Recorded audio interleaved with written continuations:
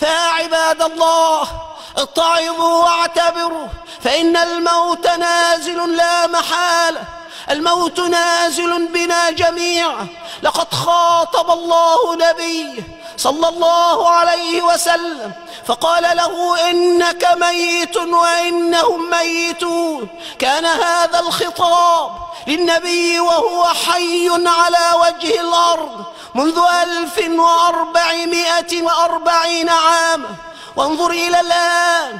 مات النبي ومات أصحابه ومات التابعون ومات تابع التابعين ومات أجدادنا ومات آباؤنا وكما ماتوا سنموت. وكما مرت الحياة عليهم علينا ستمر. وسيصبح المرء رهين عمله. لا ينفع مال ولا ولد. يوم لا ينفع مال ولا بنون إلا من أتى الله بقلب سليم.